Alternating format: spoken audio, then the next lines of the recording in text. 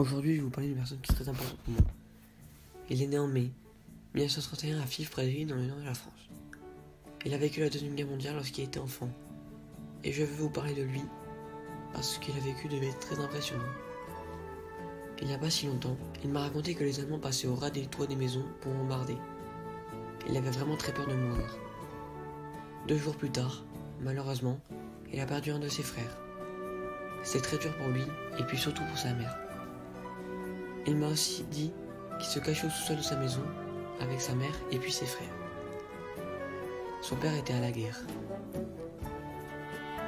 C'était très dur pour sa mère car elle devait s'occuper de ses enfants. Tous les dimanches, il allait à l'église avec seulement sa mère. Il était très bon au foot. Il était dans une grande équipe de foot.